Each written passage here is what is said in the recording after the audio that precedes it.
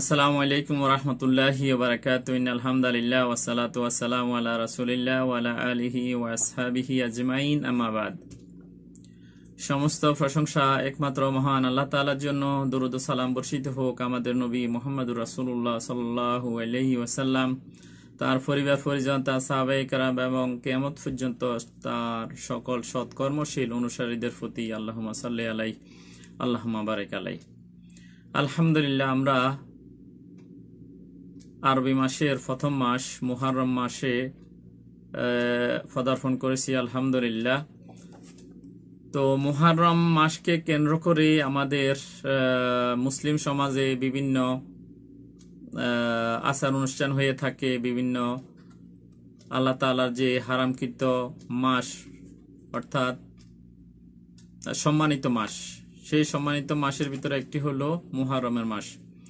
এই মুহাররমকে কেন্দ্র করে, মুহাররমের আশুরাকে কেন্দ্র করে কেন্দ্র করে বিভিন্ন দলে দলে বিভক্ত হয়ে মানুষ বিভিন্ন রকম আচার অনুষ্ঠান করে থাকে, এবাদতের নামে করে থাকে। আমরা আজ জানব আসলে আশুরাহ আশুরা এবং মুহাররম। অর্থাৎ মুহাররমের দশ তারিখকে আশুরা বলা হয়। তো এই মুহাররমের দশ তারিখে আমরা কি করব, কি পালন করব এবং কি তার ফজিলত, কি তার বিধান, কি আমলগুলা করার জন্য আমাদের শরীয়ত আমাদেরকে নির্দেশ দিয়েছেন এবং কোন আমলগুলা করার কোন আমলগুলা না করার জন্য শরীয়ত আমাদেরকে নির্দেশ দিয়েছেন। সেই সম্পর্কে আমরা জানব ইনশাআল্লাহ। প্রথমে আমরা আসি মুহররম মাস। নিশ্চয় আল্লাহর মাস মাস মুহররম মাস একটি গুরুত্বপূর্ণ, হারাম মাসের একটি মাস। হারাম অর্থাৎ সম্মানিত।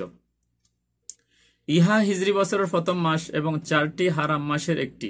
আল্লাহ তাআলা চারটি হারাম মাস অর্থাৎ সম্মানিত মাস ঘোষণা করেছেন বারো মাসের ভিতরে, তার ভিতর মুহাররম মাস একটি। আল্লাহ তাআলা বলেন, নিশ্চয় আল্লাহর বিধান ও গণনায় বারোটি মাস। তাহলে বারোটি মাস যে আমরা গণনা করি, এটা সম্পূর্ণ আল্লাহ তাআলার পক্ষ থেকে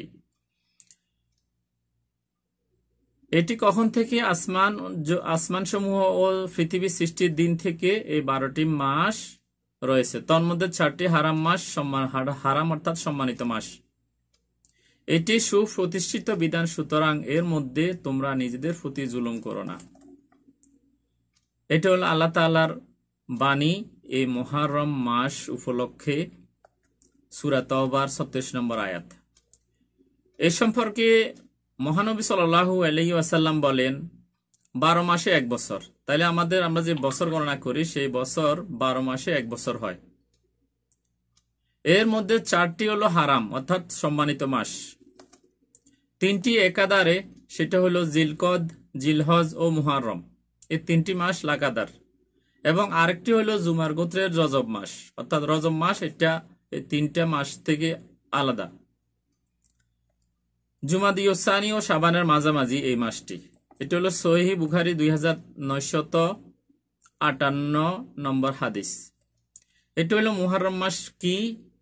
মুহাররম মাসের বিধান কি? মুহাররম মাস যে আমরা যে বছর যে গণনা করি বারোটি মাস, এটার দলিল আমরা পেয়ে গেলাম আল্লাহ আল্লাহ তাল্লাহর কোরআন থেকে এবং রাসুল্লাহ রাসুল সাল্লাহ আলহিসাল্লাম হাদিস থেকে যে বারোটি মাস যে, মাস নিয়ে আমরা যে বছর গণনা করি, এটা ইসলামী শরীয়তের বিধান থেকে যেদিন থেকে আসমান জমুহ পৃথিবী সৃষ্টি করেছেন, সেদিন থেকে এ বারোটি মাস আল্লাহ তালা লিপিবদ্ধ করে রেখেছেন।